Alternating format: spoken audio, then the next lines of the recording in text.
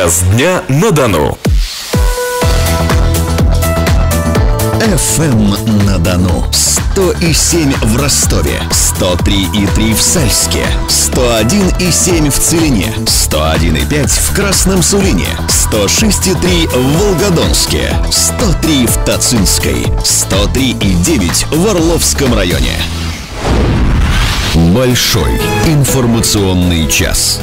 Вы слушаете радиостанцию FM на Дону в студии Инна Билан. Здравствуйте, за звукорежиссерским пультом Сергей Гужев. Начинаем большой информационный час, и как всегда в это время проект регионального информационного холдинга Дон Медиа «Бизнес-среда». Мы продолжаем знакомить слушателей с донскими предпринимателями и бизнесменами. Тема сегодняшнего эфира – система кредитования, гарантии поручительства по обязательствам малого и среднего бизнеса Ростовской области. И гости нашей студии – начальник управления микрофинансовой деятельности автономной некоммерческой организации организации Ростовское региональное агентство поддержки предпринимательства Игорь Горбатько. Здравствуйте, Игорь. Здравствуйте. И начальник отдела малого бизнеса розничного банка ВТБ в Ростовской области Валерия Богданова. Здравствуйте, Валерия. Добрый день. Также вы, уважаемые слушатели, можете принимать участие в нашей беседе. Телефон прямого эфира 200 ровно 2519. Звоните, задавайте свои вопросы, если они у вас есть.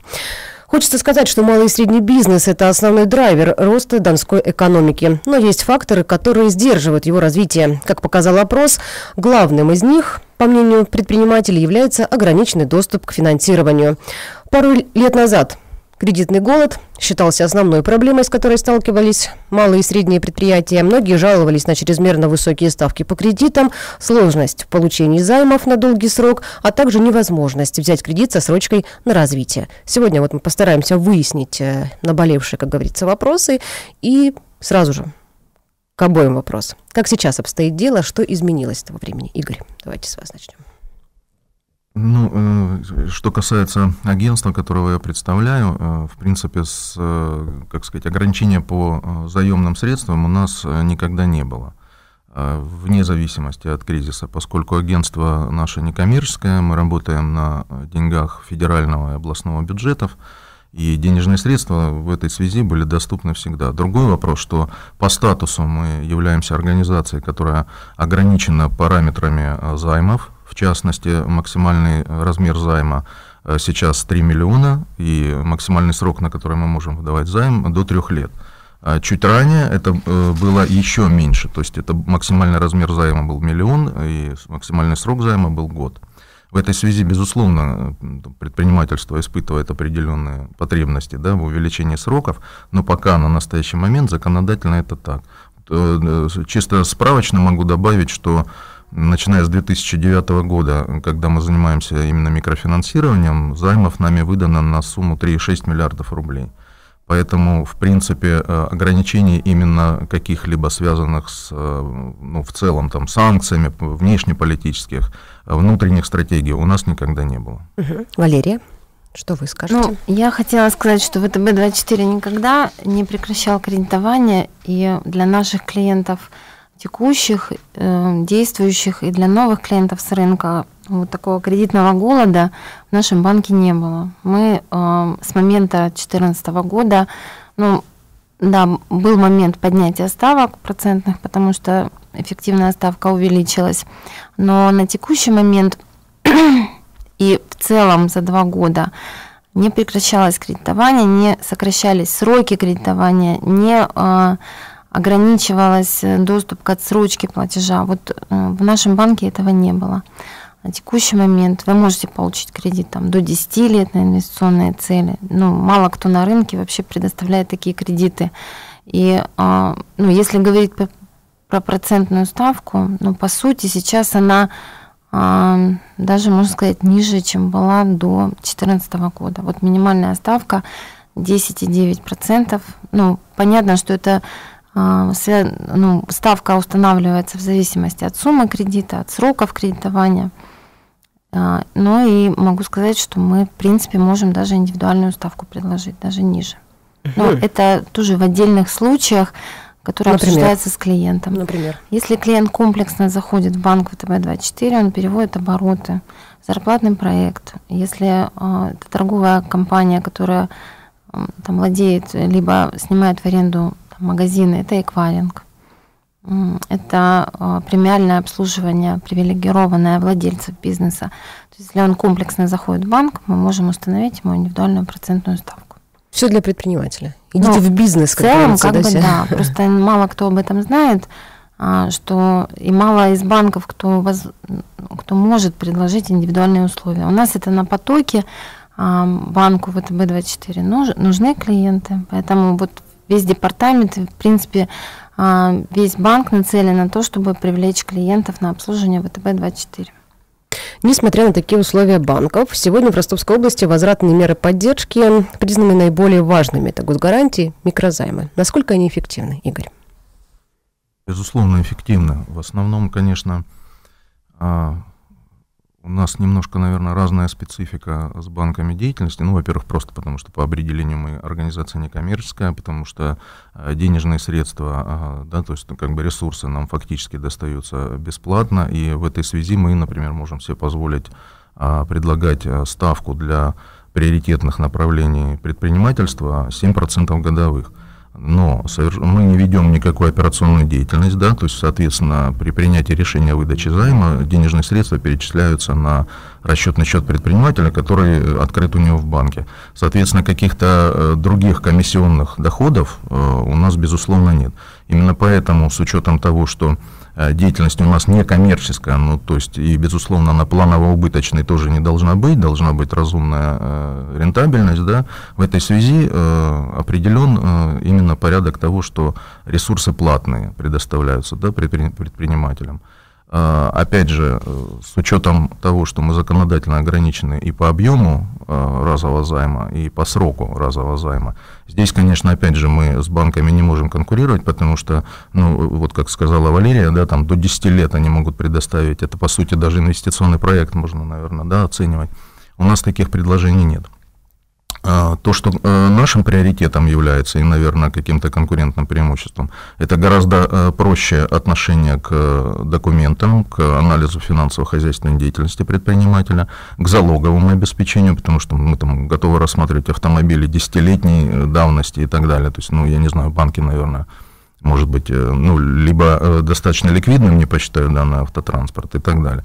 Поэтому вот, э, вот у нас такие предложения. А для резидентов Гукова, да, пока Гукова только 7% также ставка является? Да, да, конечно. То есть я сказал о приоритетных направлениях деятельности, то есть а, поскольку мы являемся проводниками государственной политики поддержки предпринимательства, то, естественно, опираемся именно на те приоритеты, которые устанавливаются. Да? То есть это и на уровне власти в целом, да, на уровне руководителей регионов обозначено, что приоритетными направлениями деятельности являются сельхозпроизводители и производители а, включая, э, есть такая марка добровольной сертификации «Сделано на Дону», и есть э, производители, которые относятся к территории социально-экономического опережающего развития. В нашем случае, в случае нашей области, это город Гуково, моногород. Вот, соответственно, для этих категорий, то есть производителей, включая сельхозпроизводителей и э, резидентов города Гукова, ставка 7% годовых. То есть не от 7, именно 7% 7. годовых. Да. Ну, скоро еще присоединится Зверево. Донецк да, клиентов будет да, много. Конечно. Валерия, какие у вас приоритетные направления бизнеса? Сказать, чтобы кого-то выделяли, такого нет. Есть там ограничения по виду деятельности. Там мы не кредитуем и горный бизнес, мы а, не кредитуем э, микрофинансовые организации, а в целом со всеми организациями, со всем видом предпринимательской активности мы сотрудничаем. Главное, чтобы этот бизнес, если он действующий, приносил доход, были э, учредители, которые понимают и вникают в этот бизнес и готовы нести ответственность за взятые на себя обязательства по кредитованию и в целом вот мы по вот этим критериям оцениваем компанию. Если клиент знает, что он хочет, если у него есть достаточно там какая-то определенная стратегия развития, и он идет к этой цели, и он э, в целом имеет э, там положительную кредитную историю, потому что это вообще не очень, ну, немаловажно. А если клиент кредитуется и у него допускались просрочки в прошлом, как бы это говорит о том, что ну, в целом клиент не умеет вести бизнес, если он не, смог построить ну, настолько а, график своих платежей, что допускает просрочки. Поэтому нам важна кредитная история. А, и а, важны, ну, в целом учредители, а, их там, их профессионализм как владельцев бизнеса. Да, вот это единственный критерий. А как быть с тем, что вот сейчас везде кричат все банки, что мы не смотрим на вашу кредитную историю? Нет, ну как не смотрим? Мы смотрим Я на кредитную слышал, историю. Какие банки так кричат? Какие банки так кричат? Возможно, те, которые там, у которых нет, нет клиентов, те кричат. Да, ну, до пяти дней считается э, не просрочка, техническая. Да? Но она как? Не то, чтобы она считается не просрочка, но а, это э, и не, не могу сказать, что это допустимая просрочка. Лучше не допускать этих просрочек. Но если кто-то там один-два дня просрочил платеж, как бы, ну, в принципе, банки работают с такими клиентами, да. Если это по объективным причинам просрочка, и она единственная за всю там, историю кредитования, в целом нужно рассматривать, в принципе, причины возникновения просрочек. А бывают, бывают причины объективного характера, и клиент, по сути, там, ну, эм, скажем, может это объяснить, мы с этим работаем. Мы, конечно, не отсеиваем клиентов, если он один день, там, один раз в сто лет сделал просрочку, мы его там, нет, такого нет. А в любом случае индивидуальный подход к клиентам соблюден. Ну, как бы мы подходим индивидуально к клиенту. Если говорить о стартап-проектах, на каких условиях они кредитуются и по какой причине чаще всего приходится отказывать? Валерия. Банки запущена программа стартап, стартап проекта буквально недавно. Банк только ну, как бы начинает э, с такими предпринимателями работать. А, э, вот э, на текущий момент клиент может взять, купить франшизу, если компания франчайзинг а, предоставляет в банк бизнес-проект с графиком финансирования, а, с банк понимает, когда клиент выйдет на безубыточность, тогда мы работаем с этими компаниями. А, но в любом случае у клиента, у которого никогда не было бизнеса, который только начинает, 40% должно быть собственных средств да, для того, чтобы начать этот бизнес. И а, банк, я уже говорила, начинает работать с этими компаниями, и э, залог недвижимость. Ну, пока мы пробуем, да, мы пробуем и сейчас на сеть э, вот эта акция распространена. Сейчас будем смотреть, насколько она рабочая, насколько а, какой уровень дефолтности по этим компаниям, да, просрочек. Тогда будем дальше, дальше набирать обороты. Ну, уже есть заявки какие-то? По сети есть. По да. сети есть. Игорь, на каком основании да, вы отказываете? У нас, Какая помощь? Э, собственно говоря, наверное, беспрецедентные предложения для вы не отказываете. Нет, сейчас я к этому подойду. Э, предложение для начинающих предпринимателей, оно сводится к тому, что э, предприниматель, к начинающим мы относим предпринимателей с, с даты регистрации которых не прошло 12 месяцев, по сути, чаще всего это действительно а, анализировать с нашей стороны нечего, потому что нет э, либо деятельность пока на либо убыточная, либо нулевая, либо там на уровне рентабельности. Да? Поэтому по большому счету мы анализируем бизнес-план. А, в качестве бонуса в нашем случае это единственный наш продукт, который не требует залогового обеспечения, только поручительство третьих лиц. Потому что ну, начинающий предприниматель, мы же работаем с областью, потому что часто э, начинающий предприниматель, ну, например, маленькая парикмахерская где-нибудь в одном, будем так назвать, удаленном районе, то есть там даже не собственно автотранспорта не может быть, ну то есть буквально предложить в залог нет, нечего. Поэтому отсюда да, именно обеспечением по займу будет поручительство третьих лиц, а э, значит, максимальная сумма займа при этом 700 тысяч, то есть достаточно существенно, если это говорить, конечно, о маленьком э, начале бизнеса. Ну да, достаточно. А, да, ну, как я сказал, мы, соответственно, смотрим и анализируем бизнес-план, и, собственно говоря, по большому счету, весь акцент на этом сосредоточен. То есть нужно понимать, что предприниматель, ну, во-первых, просчитывает, то есть понимает э, ту конкурентную среду, в которую он входит. Он просчитывает свой бизнес, даже если это очень маленький бизнес, тем не менее. Э, он понимает э, те расходы, которые он понесет, он понимает, э, куда он потратит заемные средства, и мы понимаем, из чего он будет э, как бы источники погашения обеспечивать этих заемных средств. Вот в этом случае мы можем да, выйти на предоставление займа. Не понимая этого, то есть, ну, мы же прекрасно понимаем, что в нашей информационной среде там бизнес-план скачать с интернета, ну, в общем-то, да, это 5 минут. Но при этом, если для нас очевидно, а бизнес-планов мы смотрели, пересмотрели уже очень много, если для нас очевидно, что э, вот это просто шаблон, и предприниматель не понимает своего будущего бизнеса как такового, а просто ну, вот надеется, что все будет хорошо, такие тоже есть. В этом случае мы можем отказать. Другой вопрос, что, на что я хочу обратить особое внимание, что наше агентство, оно, кроме микрофинансовой деятельности, оказывает достаточно существенную поддержку и информационную, и образовательную. И в этой связи тот наш блок, который занимается э, именно такой, такой, таким видом консультаций, он может э, помочь составить бизнес-план. То есть проанализировав, да просто, ну, условно говоря, побеседовав с э, будущим заемщиком, выяснив то, что он что хочет, а может сделать? быть даже открыв, открыв ему глаза на то, что сейчас вот в эту сторону двигаться не стоит совсем, потому что ну, нет нам перспектив. Поэтому предприниматели могут и с этими вопросами к нам обращаться, начинающие. Да, собственно говоря, любые. любые. Ну, в данном случае да, даже не начинающие. Даже бывают. не начинающие. Не понимают, что хотят вообще.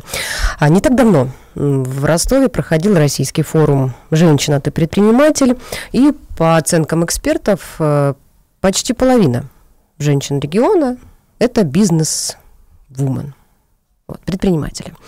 А какое внимание уделяется такой категории предпринимателей, и есть ли особые условия для них, Валерия? Нет, особых условий нету. Для нас все равны, мужчина и женщина. Главное, чтобы у каждого, там, я же говорю, адекватно оценивал ситуацию, адекватно оценивал свои силы. Неважно, женщина это или мужчина. Есть примеры ну, в моей практике, когда женщины очень эффективно управляли компанией, и под ее управлением там был рост. Есть э, ну, точно так же мужчины. Просто мы буквально с вами нас, перед эфиром договорились, да. что есть и те, и те, которые говорят, да, те не нас... умеют вести, те не умеют вести. Нет, там такого нет у нас, что для женщин отдельно, для мужчин отдельно. Там, То есть женщина не транжира, да, умеет Нет, нет, женщина... На мой взгляд, женщина наоборот рационально подходит вообще, в принципе, к своей деятельности, она более ответственна. Ну, есть и мужчины, я говорю, ну, я не делю, но если вот говорить прям про женщин, и вот это вот мнение о том, что женщины транжиры. Женщина-мать, она там а, должна ну, природой заложено, там, я не знаю, сохранить потомство, сохранить, э, и поэтому она более ответственно подходит, в принципе, к делу, которым она занимается. Ну. Игорь? Да, у нас тоже нет ни дискриминации, ни бонусирования, которое делилось по половому признаку. Э, очевидно, что, э, мне кажется, здесь именно зависит от человека.